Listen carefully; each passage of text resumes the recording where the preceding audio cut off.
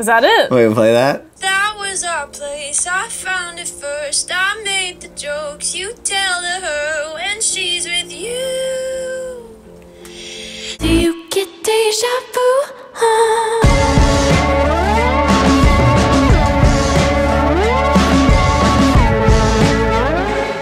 Earlier this year, Olivia Rodrigo released her first single, Driver's License. It became the first smash hit of 2021, breaking records and topping the charts for over two months. She has now released her second single, Deja Vu, previewing her highly anticipated debut album, which she recorded while filming the second season of her Disney Plus series, High School Musical The Musical The Series, in Salt Lake City. I'm Brittany Spanos, senior writer for Rolling Stone. I sat down with Olivia and her producer, Dan Nigro, to talk about the songwriting and production process for Deja Vu. So Dan and I wrote this song together in like the end of August 2020. I think we were actually like trying to write another like sadder song and it like wasn't working and so Dan was like, "Well, what other ideas do you have?" In my notes app on my phone, I have like all of these like you know, poems and like just like weird song concepts. And one of the like little hook lines that I had was, um, "When she's with you, do you get deja vu?" I just think deja vu is really cool. I get deja vu all the time, and I think it's like a really interesting phenomenon. And so I thought it would be like a cool way to talk about deja vu to talk about like you know when you break up with someone and they move on sometimes you like watch them on social media or whatever and they're like living the same life that like you lived like with another partner. That can be sort of frustrating and i feel like that's a really like universal relatable thing that like doesn't really get like talked about a ton and so i thought that would be a cool way to talk about deja vu and like make it like fun and relationshipy. I'd say maybe like half or like 75% of the songs that are on my project and that we make together i sort of will write like a verse and a chorus and dan will help me finish it and polish it up but with deja vu actually we wrote that like in a session together. Like I, I, I said I wanted to write something with like when she's with you, do you get deja vu? And we sort of created that like whole world together and, and wrote all the lyrics and the melodies together. I think Dan actually came up with the lyric. I think you came up with the Malibu thing. Did I? Yeah, you said Malibu, and I was like, oh, I can like see that. And Dan was like, what's your favorite ice cream? And I was like, strawberry. And so we were like, strawberry ice cream in Malibu. Strawberry ice cream in Malibu. Don't act like we didn't do all that too. That was the clean version. but I feel like the line that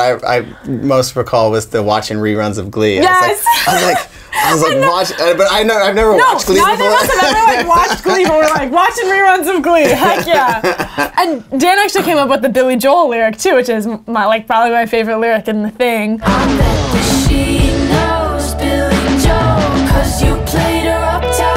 Just trying to make Long Island represent as much as possible in this, you know. Oddly enough, like I feel like the lyrics came so fast. I feel like with Deja Vu was like every idea that we came up with was actually kind of like, oh yeah, let's just go with that. It was like try not to overthink it. you Yeah, know? I remember I did write a second verse though. We wrote the verse and the chorus, and then I like went home because it was like late, and I wrote a second verse the next day that was like too serious. Because the fun thing about Deja Vu is it's like kind of like funny and like tongue in cheek a little bit, and so I remember like me writing like a serious one, and you were like, no, I gotta keep I think it like that's a constant theme sometimes with Yeah. Olivia is that it gets serious. I feel like that was driver's license the same way. Like the first bridge for driver's license was so emo and like there's like I think we should make it more playful, right?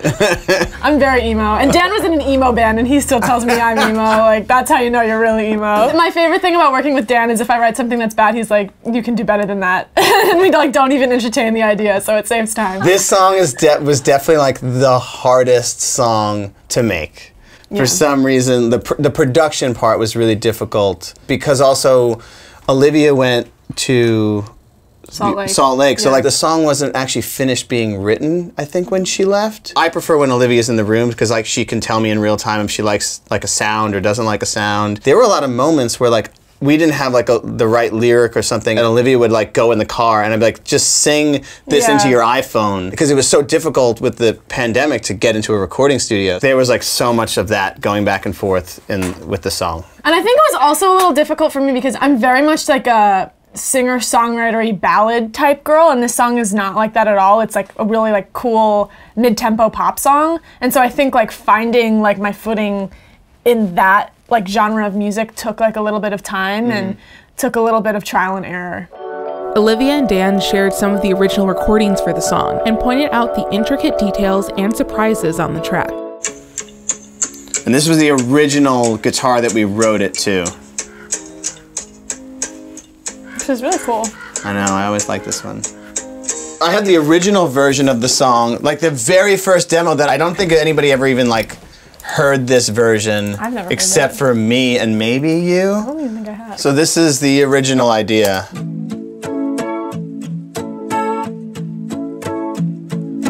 Car ride to Malibu, strawberry ice cream.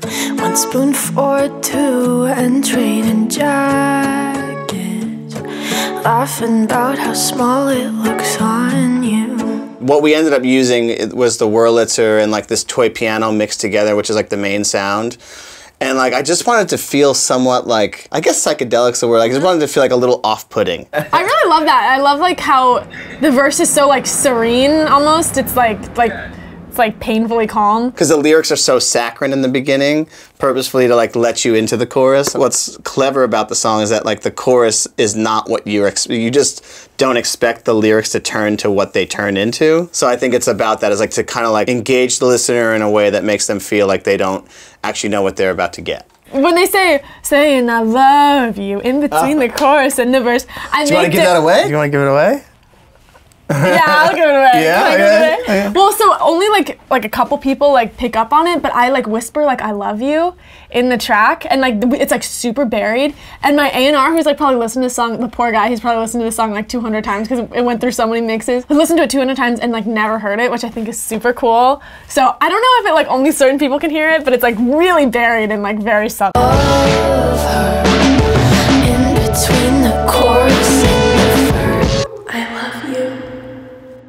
That was another Salt Lake City car recording. Oh, there was a record. Yeah, Oh yeah, these guitars are iPhone recording guitars, which is fun.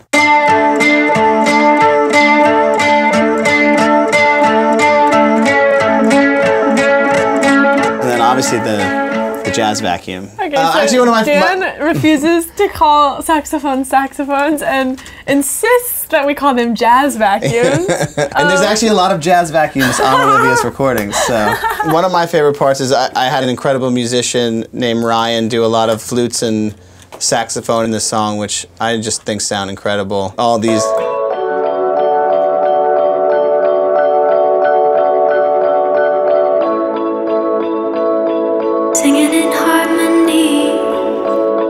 I came into the studio one day and I was like, Dan, I hate Deja Vu. I don't like it. I don't want to put it out. The second verse is boring. And if I was listening to it, I would just turn it off. I was like so sad. And he's like, well, if like the second verse is boring, let's like make it more interesting. And so we like changed the melody and we put some like, I just like love like gang vocals. I love like yelling over the top of songs. Um, and so we like added some of that. And then I, I feel like it like really raised the energy of the song a little bit. Well, we bit. tried so many things. Yeah. Well, you were still in Salt Lake, and, and you were like, it's, it's boring. The song is boring. So I like sped it up, and then I sped it up a little bit more, and I was like, I don't think it's the speed of the song. And then I tried adding like other instrumentation, and I was like, it started to sound weird. You just don't think like to change the song. Yeah. You're like trying to change the production for so long. Like, how do we make this more interesting with the production? But ultimately, at the end, it was like, oh no, we just have to actually make the song better. You get your friends to comment on our photos just so you seem nice. Wait, that's a different song. This is a, no, it's not. It's a different melody. We had a lot of different ideas for this thing. Yeah, this was a this. Wait, was this is a worker. We, we like worked on this one.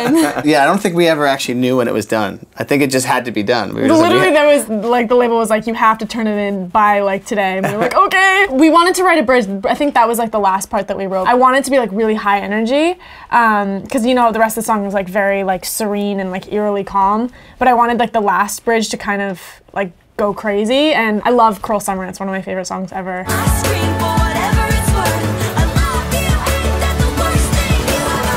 I love that like the yelly vocals in it, like the harmonized yells that she does. I feel like they're like super electric and like moving, and so I wanted to do something like that. And I love that um that little like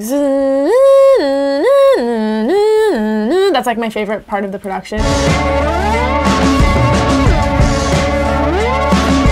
That was a fight. That, was, a fight too. That was a fight. We wanted to do a post-chorus, like a vocal post chorus. Well, the, like, yeah, I made the mistake of like printing, like, because I got so excited about the song that I think I printed up a version for everyone to hear. Like, check this out. And we didn't have a post chorus, so I just like took Olivia's vocal and like made a little vocal chop. Yeah. And I kind of liked it. I know that it was like felt like we were cheating by making a vocal chop, Yeah. but like when the label heard it, everybody loved it, and Olivia was like, "That's not going in the song." And uh, like, I, yeah. I don't like vocal chops. It's like, do you I'll play it.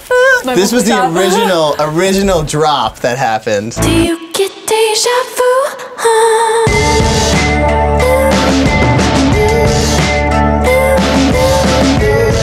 I was like, I don't know, it's like not my thing at all. I love like synths, and that, it's actually a synth and the thing. It kind of sounds like, like a cool like warped guitar, which I Yeah, like. it's, it's a mellotron. It's just like Yeah. a super distorted mellotron sound. but I like love that sound, and it feels so like dirty and like raw. I'm happy we went there. I, I feel like I made the mistake of like making it early bounce because we were big. excited. Driver's License picked up steam much faster than Olivia ever could have imagined. I was curious how its immediate success affected the making of her second single.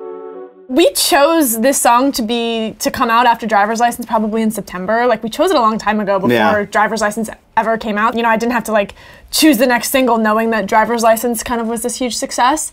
So that definitely took a lot of the pressure off but us and, and my team really didn't want to like do the safe thing and like put out another heartbreak ballad. I just think you know people probably would resonate with that and they resonated with the driver's license but we really wanted to show that i'm a versatile songwriter and a versatile artist and i can write like heartbreak songs and i can also like make like cool like alternative pop songs and stuff like that. So i just did, didn't want to be like pigeonholed into like the like heartbreak ballad kind of girl thing. So yeah driver's license did give me a lot of confidence in, in that regard. It's really true like people really resonate with authenticity. You can have like this catchy melody and like the greatest production ever but truth and like vulnerability is really what people resonate with and that's always going to stay the same no matter what genre of music you do no matter if you do an up-tempo song or a down-tempo song. And it's also just like cool like i just love writing songs and like driver's license means that probably other people are going to like listen to my other songs which is just such an added plus. So yeah it's it's really cool